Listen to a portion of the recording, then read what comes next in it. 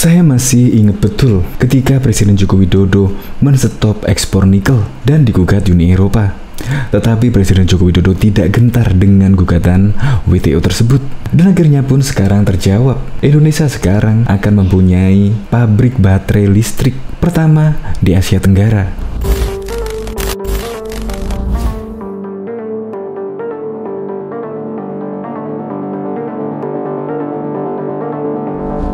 Dimulai nikel dimulai industrialisasi sehingga kita stop yang namanya ekspor bahan mentah nikel. Tapi digugat ke WTO nggak apa-apa kita hadapi. Kalau ada yang gugat nggak apa-apa.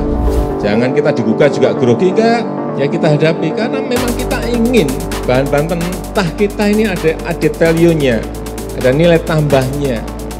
Karena apa? Kalau ada industri ada manufaktur ada hilirisasi yang terjadi apa lapangan pekerjaan yang sebesar-besarnya akan terbuka.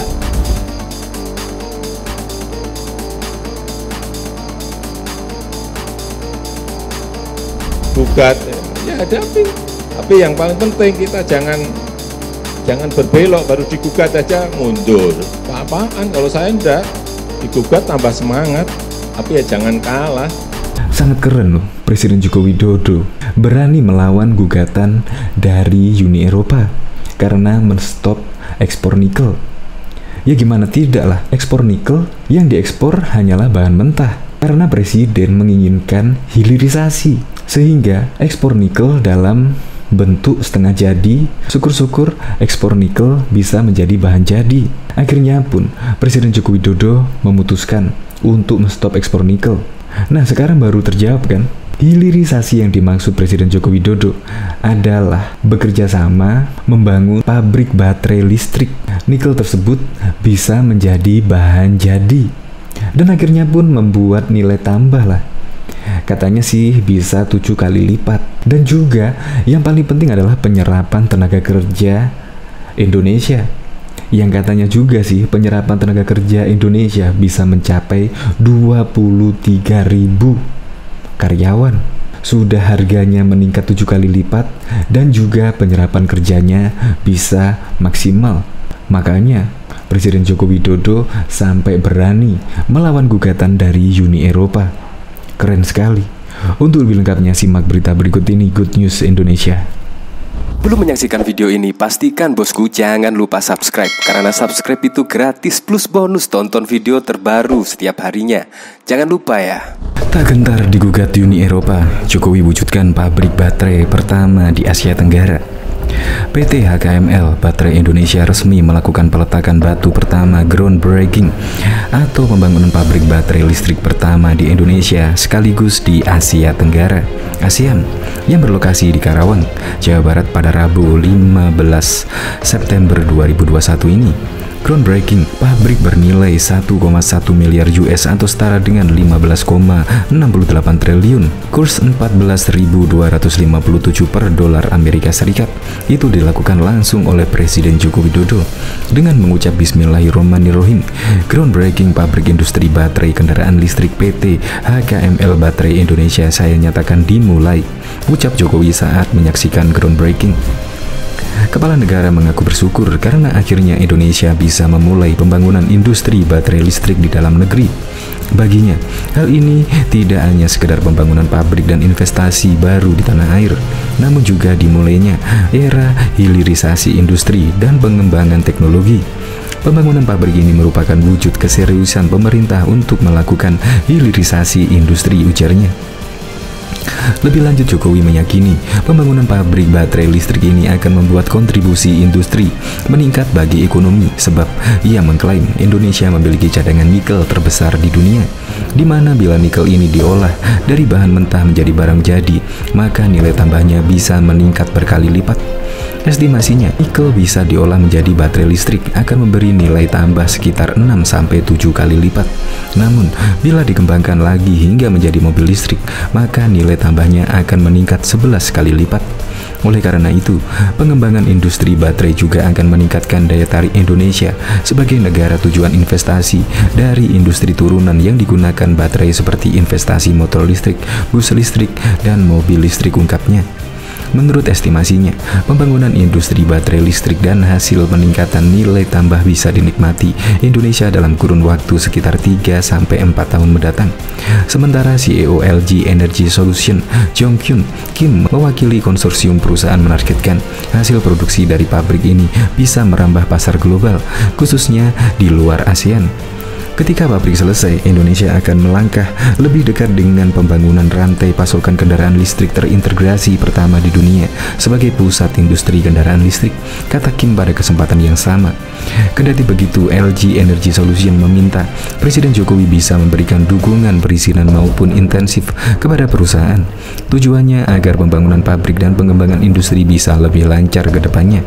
Kami mohon kerjasama dan dukungan aktif Bapak Presiden Joko Widodo dalam perizinan dan dukungan insentif sehingga pembangunan pabrik dapat dilakukan dengan lancar tutur Kim. Di sisi lain, Kim memastikan LG Group akan menjadi mitra bagi Indonesia untuk pembangunan industri berteknologi. Hal ini diharapkan bisa memberikan sumbangan ekonomi bagi semua pihak yang terlibat. Atas permintaan ini, Jokowi memastikan pemerintah akan memberikan dukungan penuh terhadap pengembangan ekosistem industri baterai dan kendaraan listrik. Pemerintah juga akan terus menggulirkan reformasi struktural untuk memberikan kepastian hukum dan kemudahan perizinan kepada pelaku usaha, investor untuk mengembangkan usahanya di Indonesia, ujar Jokowi. Ia berharap kerjasama bisnis di bidang baterai listrik ini juga semakin memperkuat hubungan Indonesia-Korea Selatan ke depan. Ia juga berharap hubungan ini bisa dibangun bukan hanya di perusahaan besar dan BUMN tapi juga UMKM. Diketahui sebelumnya Presiden Joko Widodo menanggapi gugatan Uni Eropa karena Indonesia membatasi ekspor nikel. Bahkan mereka sampai melaporkan RI ke Organisasi Perdagangan Dunia WTO. Jokowi tak mau ambil pusing. Menurutnya, kebijakan pembatasan ekspor nikel merupakan hak Indonesia. Barang-barang kita, nikel-nikel kita, mau kita ekspor mau undakkan suka-suka kita. Ya enggak, ujar Jokowi di Istana Negara Jakarta Pusat pada Senin 16 Desember 2019 yang lalu. Hal itu dia sampaikan dalam pembukaan musyawarah perencanaan pembangunan nasional, rencana pembangunan jangka menengah nasional RPJMN 2020 hingga 2024. Dirinya mengaku tak takut dengan gugatan Uni Eropa. Menurutnya itu akan dihadapi. Kita ini kan hentikan ekspor nikel ori ke luar. Ini sudah digugat sama Uni Eropa, gugat di WTO. Kalau defisit transaksi berjalan, defisit neraca perdagangan kita sudah beres. Siapa pun gugat kita hadapi. Tapi ini sudah kita hadapi, ngapain kita takut jelasnya? Dia menerangkan bahwa nikel hanyalah permulaan. Nantinya Indonesia akan mulai mengerim ekspor bautsit.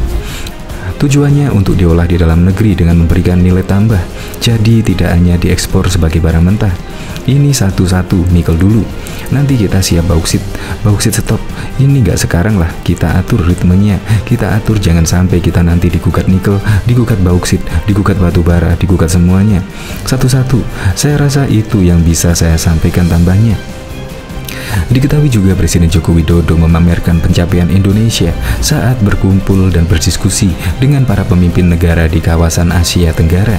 Dalam pertemuan bertajuk ASEAN Leader Gathering di sela-sela pertemuan Dana Moneter Internasional IMF Bank Dunia Annual Meeting di Nusa Dua Bali pada Kamis 11 Oktober 2018 yang lalu. Jokowi menyampaikan beberapa hal yang menjadi perhatian pemerintah dalam upaya mencapai sasaran pembangunan berkelanjutan Hal-hal itu yaitu menurunnya angka kemiskinan pada satu digit menjadi 9,8% pada tahun 2018, meningkatnya akses air bersih terhadap rumah tangga mencapai 76,74% dan meningkatnya akses kepada pelayanan kesehatan melalui Jaminan Kesehatan Nasional JKN mencapai 77,78%. Kemudian menurunnya angka stunting pada anak-anak menjadi 29,6% di tahun 2018 serta meningkatnya kualitas pendidikan yang inklusif dengan angka partisipasi kasar pada tingkat pendidikan dasar mencapai 108,5%. Tak kalah pentingnya adalah kemajuan besar dalam pembangunan infrastruktur dalam empat tahun terakhir sebagai perwujudan tujuan nomor 9 dalam SDGs kata Jokowi.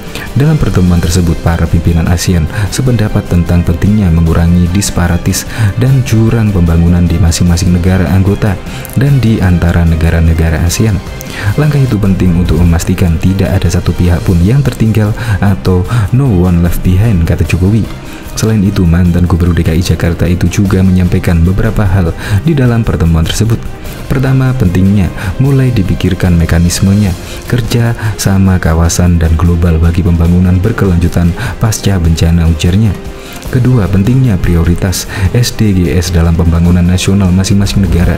Ketiga, sinergi antara organisasi kawasan dan organisasi internasional serta lembaga keuangan bagi pencapaian SDGs penting sekali artinya.